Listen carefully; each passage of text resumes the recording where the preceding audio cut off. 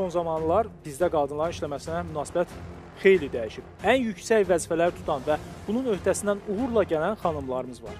Ölkənin birinci vitse-prezidenti, parlament sədri kimi önəmli postları məhz qadınlar tutur. Amma bütün bunlara baxmayaraq hələ də qadınların işləməsinə müsbət yanaşmayanlar var. Qadının işi uşağa baxmaq, ev yığışdırmaqdır deyə düşünənlər təəssüf ki, qalmaqdadır. Buna görə də bir çox hallarda ailə qurduqdan sonra qadınların işləməsinə qadağalar qoyulur, yaxud özləri işdən çıxmaq məcburiyyətində qalırlar. Təbii ki, qadın əməkdaşı işə qəbul etməyə çəkinən sahibkarlar da var. Bəs belə hallara niyə hələ də son qoyulmur? Əmək bazarında cins balansını qorumaq mümkündürmü? Mövzunu Məryəm Hüseyn araşdırıb. Nə qədər evdə oturmaq olar? Mən də işləmək istəyirəm. Başa düşmədim, nə işləməyi? Nəyim çatmır? Qadın evin xanımı olmalıdır. Qadınların iş həyatına atılması, karyera qurması hələ də müzakirə olunan mövzulardan biridir. Təəssüf ki, bu fikir cəmiyyət tərəfindən bir mənalı qarşılanmır. Məncə ailə xanımı olsa daha yaxşıdır. Uşaqlarına daha çox vaxt ayırır. Kim işləyəndə istər-istəməz ucu alınmır. Qadın təbii ki, işləməlidir. Qadın evin və cəmiyyətin aparıcı qüvvəsidir. Qadın niyə işləməsin ki? Evinin xanımı olmalıdır. Şəxsən mən e, istəyərdim evimin xanımı olum, işləməyim. Çünki maaşlar çox aşağıdır. Qadın məncə işləməlidir müəyyən bir müddətdən sonra. Müəyyən müddətdən yox. Əgər hər hansısa bir qadın oxuyursa, diplom alırsa, təhsil alırsa, o o üzrə də işləməlidir. Qadın e, güclü bir varlıqdır. O istədiyi vaxt e, hər şeyə zaman ayıra bilər, istər ailəsinə, istər karyerasına. Bir görə evdə qadın olsun ki, uşaqlarına baxsın, uşaqların tərbiyəsinə məşğul olsun. Yoldaşı yaxşı qazansın, həmin xanımı da həm xanım eləsin, ana eləsin. İşləməmək daha üstünlük verirəm işləməməyə. Amma halbuki mən elə gözümü açandan işləmişəm ha. Qadın evdə oturmalıdır, öz uşaqlarının, balalarının tərbiyəsi ilə məşğul olmalıdır. Əlbəttə ki, qadın işləməlidir. 2 dənə uşaq böyütmüşəm, həm işləmişəm, indi də işləyirəm. Məncə xanım evdə olmalıdır. Qadın həm öz karyerasını qura bilər, həm işləyə bilər, həm də ailəsinə qayğı göstərə bilər. Bacarıqlı qadın onu edə bilər. Kimisi qadınların işləməyinə qarşıdır, kimisi bunun tərəfdarıdır. Qadınlar işləməməlidir deyən qadınlar da az deyil. Belə yanaşmalara görə ölkədə işləyən qadın və kişilərin sayında fərq yaranıb. Statistika Komitəsinin verdiyi məlumata görə hazırda ölkədə muzla işləyənlərin sayı 1 milyon 700 mindən artıqdır. Onlardan 1 milyon 50 mindən çoxunu kişilər, təxminən 650 minini qadınlar təşkil edir. Əksər hallarda ailə qurandan sonra qadınların əmək hüququ məhdudlaşdırılır. Qəhrəmanımız 22 yaşlı qadın da əvvəllər işləyib, evləndikdən sonra isə həyat yoldaşı buna icazə verməyib. Təhsilimi bitirdim, işləməyə başladım.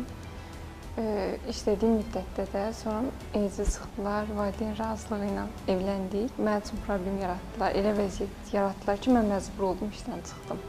Ondan sonra mən ayrılıq qərarı verdim. Ayrılandan bir müddət sonra güclə toparlandım, işə başladım şükür Allaha da indi ayaqlarım üstündə rahat dura bilirəm. Qadınların işləməsinə qarşı çıxanlar onların ev işləri, övladları ilə məşğul olmasının daha vacib olduğunu əsas gətirirlər.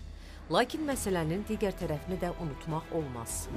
Çox təəssüf edirəm ki, hələ də belə insanlar mövcuddur ki, qadının işləməməsini təhrik edirlər. Qadınla və kişinin hüquqları bərabərdir, elə qanunda da belədir. Qadın öz hüquqlarından istifadə etməlidir elə bir qadağa qoyula bilməz. Bu qanun pozuntusudur. 125 parlamentdə olan yerdən yalnız 22-si qadınlardır hal-hazırda.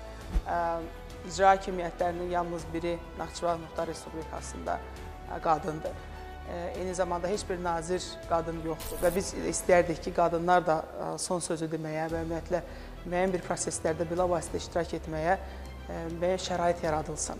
Gender və inkişaf üzrə ekspert Məryəm Məcidova hesab edir ki, yüksək vəzifələrdə çalışanların cins bölgüsünə nəzər saldıqda vəziyyət daha aydın formada ortaya çıxır. Burada qadın-kişi nisbəti daha çox pozulub. Kişilərin müəyyən sahələrdə qadınların üstün olduğunu bildirilir və yaxud qadınların kişilərdən üstün olduğu bildirilir. Bu sadəcə bir növ səhv məlumat ə, dalğasıdır. Elə bir şey yox. Biz həmən o inancları necə qıra bilərik? nümunələrlə ki, baxın, bu xanım evlidir, bunun uşağı var, yoldaşı var və onlar hər ikisi bir-birinə dəstək olaraq hər ikisi karyerasında uğur qazana bilir. Amma unutmaq olmaz ki, son illər ölkədə qadınların ən yüksək vəzifələrə təyin olunması halları nisbətən artıb. Hazırda ölkənin birinci vitse-prezidenti xanımdır. Qadın Dövlət Komitəsi sədrlərinin sayı 2 nəfərdir. Amma hələ də nisbəti tam təmin etmək mümkün deyil. Məsələn, indi yerli icra hakimiyyətinə yalnız birinin başçısı qadındır. Əsasən 3 fəaliyyət növü üzrə qadınların sayı kişilərdən daha çoxdur. Təhsil, səhiyyə və incəsənət. Çalışan qadınların yarısından çoxu məhz bu üç sahədə cəmləşib. Əslində bilirsinizmi, burada mən qeyri-adi bir şey görmürəm. Ona görə ki, ə, qadının özünün belə deyim ki, e, fiziologiyasında, quruluşunda bir ə, analıq, öyrətmək, tərbiyə etmək olduğuna görə və təbii ki, həmin müəssisələrdə çalışanların da əksəriyyətinin qadın olması çox normaldır. Bəs niyə rəhbər orqanlarda çalışan qadınların sayı kişilərdən kəskin fərqlənir? Deputat Jalə Əliyeva deyir ki, daha yüksək vəzifələrdə çalışan qadınların sayı əvvəlki illərlə müqayisədə hətta artıb və hazırda hər şey olması gərəkdiyi kimidir.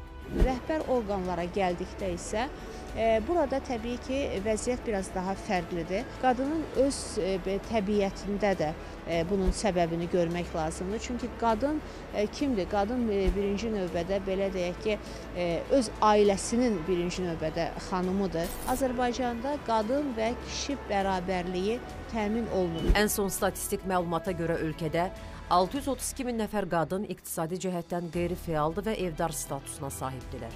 Qadın işsizlərin sayı kişilərə nisbətən 40% çoxdur. Bəzən işə götürənlər müxtəlif səbəblərdən kişi namizədlərə daha çox üstünlük verirlər. İşə qəbul prosesində qadınların ailəli, övladlarının olub-olmaması da nəzərə alınır. Qadın subaydırsa onun evlənib işdən çıxa bilmə, ailəlidirsə övladlarına görə işə əlavə vaxt ayıra bilməməsi kimi ehtimallar var. Bu da bir çox işə götürənlərə sərf etmir. Övladını tək böyütmək istəyən, böyütmüş qadın da 3 yaşa qədər əgər yaşı varsa uşağın həftəyə 6 e, 35 saat işləmə hüququ qazanır. Buna görə də işə götürənlər adətən e, qadının övladlarının sayı və yaxud övladlarının yaşını soruşma məcburiyyətinə qalırlar. Lakin hamilə yaxud azyaşlı övlad anası olması qadınların əmək hüququnu məhdudlaşdırmaq üçün əsas deyil. Əksinə, bu onlara iş yerlərində əlavə üstünlüklər verir. Onlara xüsusi güzəştləri tətbiq etməyən işə götürənlər isə məsuliyyət daşıyırlar. Hamilə qadınların və 3 yaşına qədər uşağı olan qadınların hər hansı bir işə götürən tərəfindən işə götürülməkdən imtina edilməsi birbaşa olaraq qanunvericinin tələblərinin pozulmasıdır ki, bununla da bağlı həmin qadınlar pozulmuş hüquqlarına bağlı məhkəməyə müraciət etmə hüquqları vardır. Azərbaycanda 38 sahədə 678 iş yeri üzrə qadın əməyinin tətbiqi qadağandır. Qadınlara qadağan edilən iş yerləri arasında mal-qara kəsən, dalğıc, desant yanğın söndürən, təyyarələrə texniki xidmətlə məşğul olan mühəndis və texnik kimi ağır peşələr də var. Hazırda dünyanın 104 ölkəsində bu tip qadağalar mövcuddur. Eyni zamanda 29 ölkədə qadınların gecə növbəsində işləməsinə icazə verilmir. 18 ölkədə isə kişilərin öz həyat yoldaşlarının işləməsini qadağan etmək hüququ var. Lakin güclü, iqtisadi cəhətdən inkişaf etmiş ölkələrdə belə qadağalara rast gəlinmir.